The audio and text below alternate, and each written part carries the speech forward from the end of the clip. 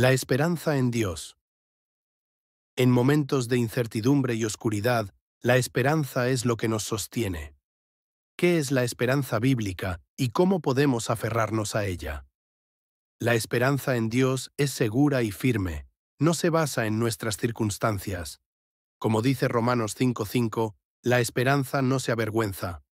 La esperanza en Dios trasciende la muerte y nos da vida eterna.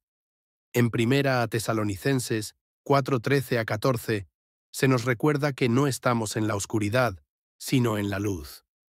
La esperanza en Dios nos transforma y nos da una nueva perspectiva.